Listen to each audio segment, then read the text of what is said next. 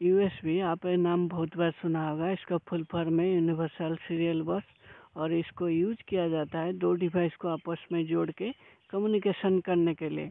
और ये यूएसबी को 1996 में सात कंपनी ने मिलकर बनाया था, जैसे Nortel Compaq DEC NEC IBM Microsoft Intel ऐसे सात कंपनी ने मिलकर इसको बनाया था, ताकि दो डिवाइस को आपस में जोड़ के कम्युनिकेशन किया जा सके, और इसको बाद में वर्ल्ड वाइड और यूनिवर्सली इसको यूज़ भी किया जा सके। और यूएसबी टाइप का बात करें तो ये तीन टाइप का आता है USB type A USB type B और यूएसबी टाइप सी ऐसे तीन टाइप का यूएसबी आता है। अभी आपको पता लग चुका है यूएसबी कितना टाइप का है। अभी आपको बताता हूँ यूएसबी टाइप जो आया है कौन सा वर्जन कौन सा साल में रिलीज़ हुआ था।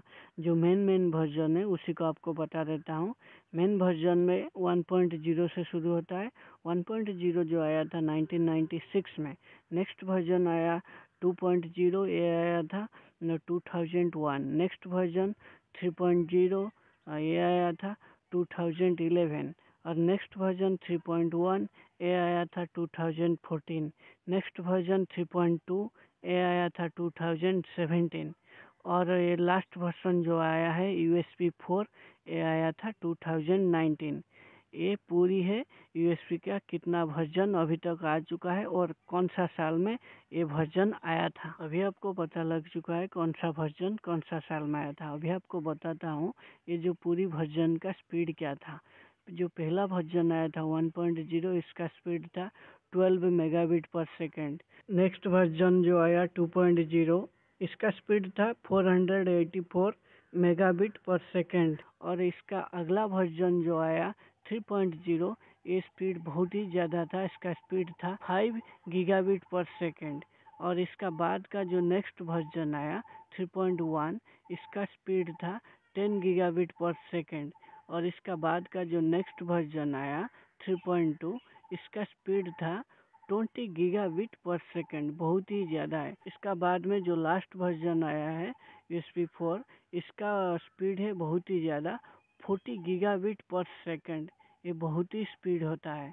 ये थी पूरी वर्जन की कितना स्पीड आ रहा है। और आप देखे होंगे जो केबल आप चार्ज करते हो जो यूएसबी टाइप हो टाइप सी हो या टाइप बी हो, इसमें दो पॉइंट रहता है। एक आप केबल में जो प्लग है प्लग में लगाते हो और एक पॉइंट आपका डिवाइस में लगाते हो। उसमें भी अलग अलग कंपनी अलग अलग जो पोर्ट बनाता है, ताकि उसका डिवाइस का जो भी केबल हो वो एक यूनिक प्रोडक्ट बन जाए ताकि उसको कोई यूनिवर्सल यूज़ ना कर सके, खाली वही कंपनी का प्रोडक्ट वही कंपनी में यूज़ हो।